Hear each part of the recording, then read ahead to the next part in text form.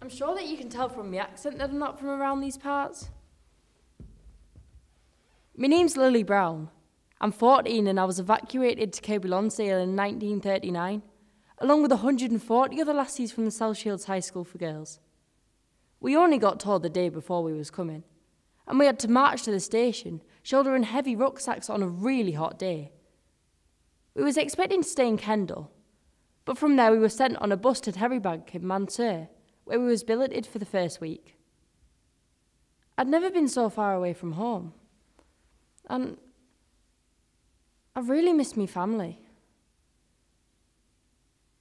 My first glimpse of Kirkby Lonsdale was a great disappointment.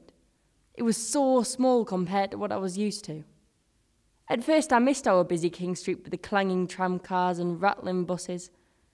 But when I came to live here, it wasn't quite as dull as I'd imagined. The River Lune is canny and much quieter and cleaner than the Tyne.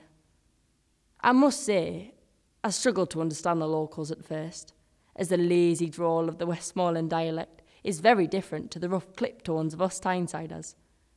But what impressed me most was the kindness of the inhabitants of Kirkby Lonsdale and the trouble they took to make me feel at home. I first stayed with a lovely family who had a jeweller's shop in the Toon, and then later on I went to Mrs. Hadwin's on Main Street. At our very first tea, we sampled her homemade raspberry jam and oat flapjacks. They were delicious.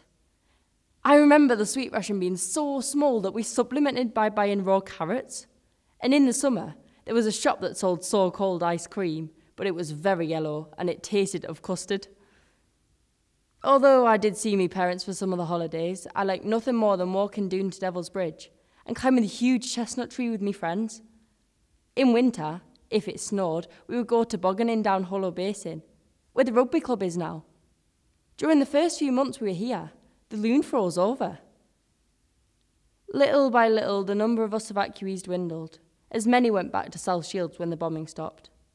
I stayed on until 1942, and I'll always have a soft spot for Kirkby Lonsdale.